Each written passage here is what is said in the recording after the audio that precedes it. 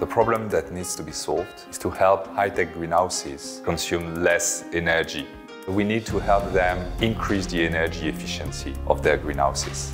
We at InfraScreen believe that our technology will be pivotal in helping the industry shift towards less CO2 emissions, less energy consumed. The technology that we've developed is an innovative material that we use as a cover in the greenhouse in order for the greenhouse to better retain radiative energy inside without impairing the photosynthesis of the crops.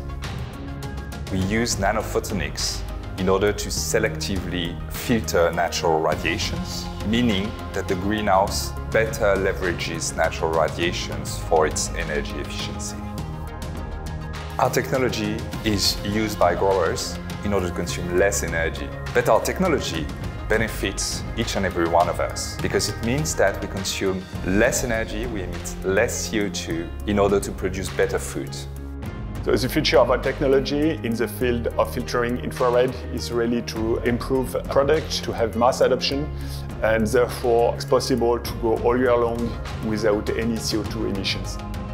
Luminate is not just a one-time experience. It's a relationship that we believe will continue even after we've left the program.